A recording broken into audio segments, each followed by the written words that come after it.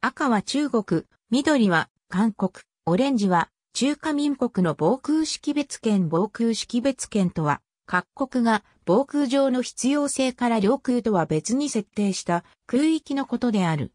A 省の頭文字からアディズやエーリズと呼ばれることがある。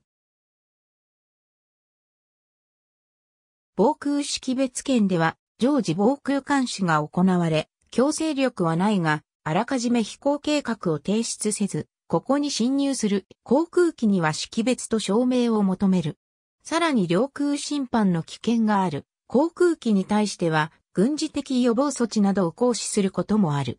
民間航空機の航空での安全のために国際的に割り当てられ、各国が文書を管理する飛行情報区とは異なる。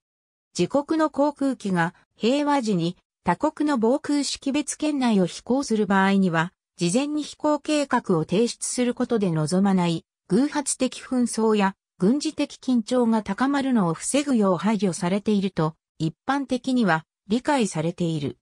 ただ、この防空識別圏は国際法で確立したものではなく、領空、領土、領海の範囲を定めたものではない。多くの国において領海は12海里に設定されており、他国機が領海上空の領空を侵犯してから領土上空に到達するまで、旅客機でも1分強、超音速機であれば数十秒あれば可能であり、領空侵犯を確認してから対処するのでは、すでに手遅れになり、大変危険である。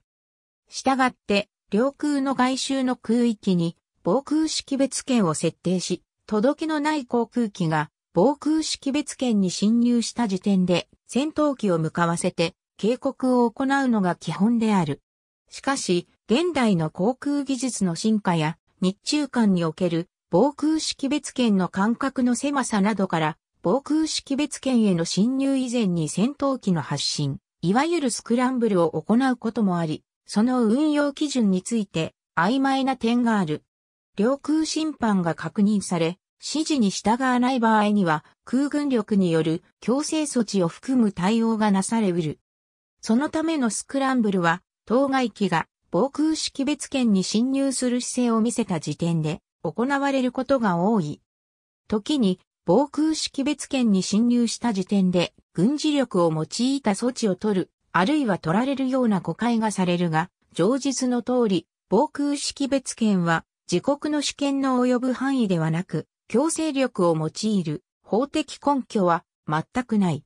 ワシントン DC の防空識別圏ハイジャックした旅客機を地上のテロ目標と激突させる手法が用いられた911テロの後、米国のメリーランド州ボルチモアとワシントン DC にまたがる。首都地域は領空内の飛行許可を得ている民間航空機等の侵入をも絶対に許さない。特別な防空識別圏を設けている。日本の防空識別圏日本国の防空識別圏は防衛庁長官の定める防空識別圏における飛行容量に関する訓令第2条第1項により定義されている。同訓令は防空識別圏における自衛隊の使用する航空機の飛行容量を定めることにより日本国の周辺を飛行する航空機の識別を容易にし、もって対領空侵犯措置の有効な実施に資することを目的とするも、日本国の防空識別圏は1945年に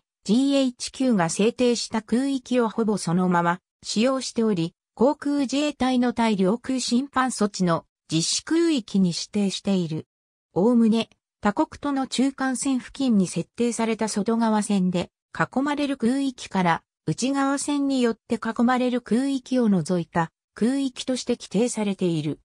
なお、航空法第99条に基づいて国土交通省が提供する航空情報の一種である航空路紙においては有志会飛行方式により国外から防空識別圏を経て日本国の領域に至る飛行を行う場合、飛行計画を航空管制機関に提出すること、事前に提出された飛行計画と異なる飛行を行う場合は、航空交通業務機関及び航空自衛隊のレーダーサイトに無線通報することを要請している。